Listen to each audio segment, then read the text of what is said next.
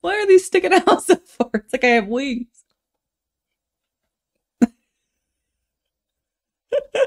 Hey guys, welcome back to the channel. My name is Killer McKnight, accompanied by Queen Taylor. And we're going to be taking a look at Angelina Jordan, Bohemian Rhapsody at Americans Got Talent, The Champions. This was highly requested after we we done I Put a Spell on You, which she was nine years old at that time, and she blew us away. And we were thinking about going back to her seven-year-old um, performance. Bohemian Rhapsody by Queen is one of Taylor's favorite songs, and that's really why. So let's give it a go. Since I was very little, I just wanted to sing for Simon. I really want to impress him. That would be so amazing. And this is the biggest opportunity of my life. I really hope to win the show. You won once, right? Yeah, You think you can? I hope so. Oh. I think she was on Norway's Got Talent. Oh, okay. So the champions won. So this is literally people that have won the show before coming back competing against each other. Is that what that means? I don't know if it's so. Correct me if I'm wrong.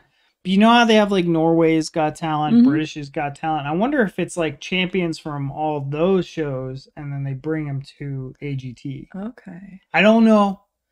So is this her? This must be her first time on America's Got Talent. then. Maybe in front of Yeah, because she Yeah. said she was wanted to perform in front of Simon, and I think he's been doing it forever. Okay, Yeah, I'm just curious. Okay, that's I feel more prepared now. I don't That's- know why. crazy to me that that's like one of her biggest goals in life It- at this point in time is to sing in front of Simon Cowell. I mean, he's hard to impress. I get it. It's hard to You're impress. really good singer if you can impress Simon. All right, let's go. Jordan, go out there and show Simon what you got. All right. no pressure. I know. She knows she's good though. No shoes. She's barefoot.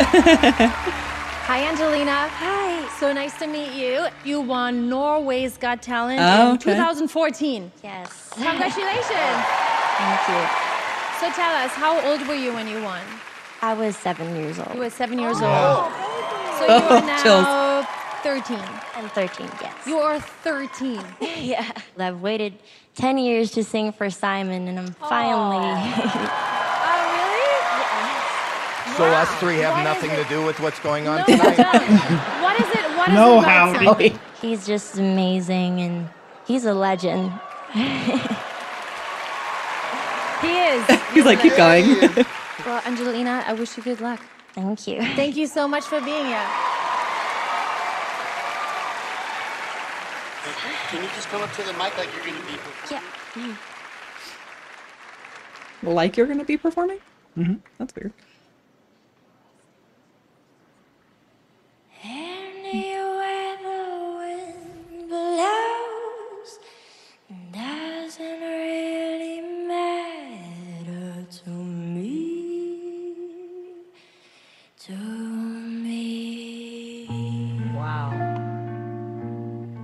Chills literally I know, already. it's all over my body. My time has come. Send shivers down my spine. Mine too. Body's aching all the time. Oh,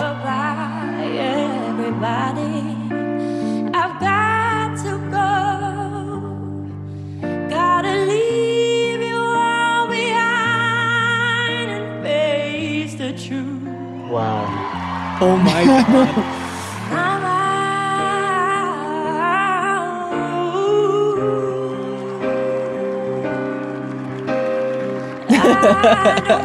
Feel that.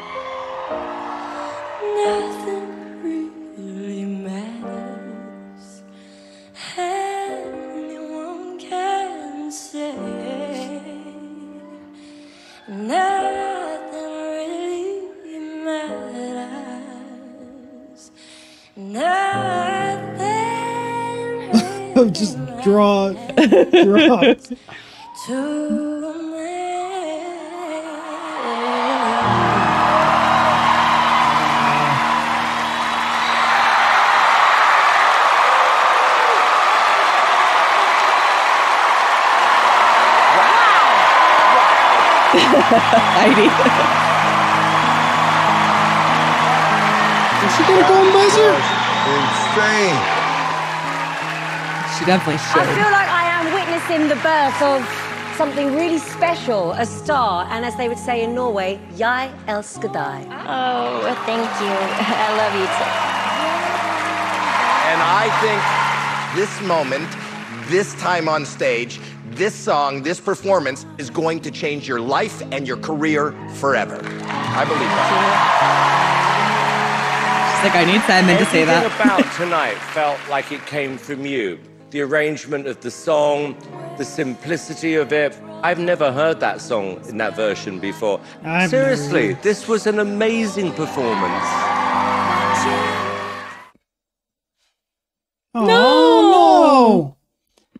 Guys, was it a golden buzzer winner? Oh. I want more. So what did you think of that? I had chills the entire I did time. too. The entire time. Because we're thinking about Queen Bohemian Rhapsody and we we always revert back to Queen's version, right? So we're thinking it's gonna be like a rock and Yeah. she you know what's so impressive is I said this when we listened to I Put a Spell on You and her vocal techniques and like how is she going to progress as she gets older, you know, as her Mhm. voice more matures and she develops, you know, herself, right? And it's in full freaking glory in this performance. Yeah, I completely agree. She absolutely slayed that. I, you know, as he said, like, that's one of my favorite songs. I love it so much. It's just such a great song.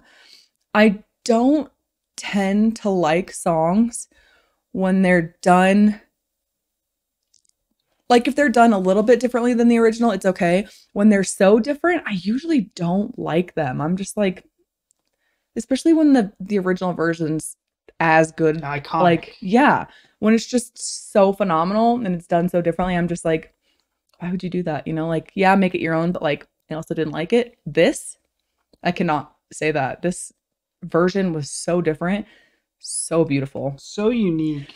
And for someone to take a song like that and make it so unique and she at such a young age Mhm. develop kind of like this uniqueness to her Yeah. and her own signature style like it kind of really takes me back to like old you know like listening to Frank Sinatra and you know old bands like that like the Rat Pack and stuff and i feel like she she almost reminds me of like a young like Janis Joplin. She's Yeah. just she's so talented and I really genuinely don't believe anybody else could have done this, made this version like this and I definitely wouldn't have liked it. Like I 100,000% think like I genuinely feel that way. I don't think anybody else could have pulled it off. and like Simon said, all credit to Simon. Like he called it out for what it is, and he was like, you know, her arrangement of the song and the way she executed it, it was all her. It was was all her. This is her song at this point, and it was incredible. Honestly, like what a we can get into technicalities like and other artists, but like man, she has her own voice Mhm. and it is incredible and unique and it's just something i think everyone should listen to like listen to this bohemian rhapsody performance because it is Yeah.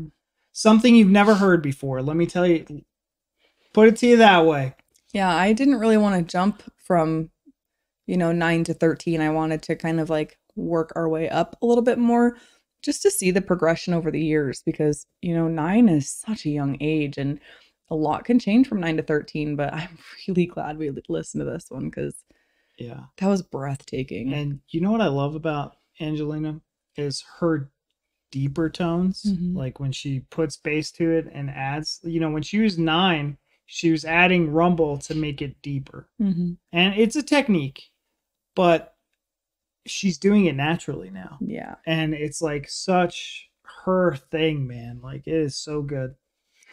But anyways, let us know down in the comments if you enjoyed this video. Give it a like; uh, it'll definitely help us out. And be sure to subscribe for some more. Leave down in the comments what you guys think we should cover next. I think we're going back to Norway. Like I think we're doing the seven. You know, when she was seven years old.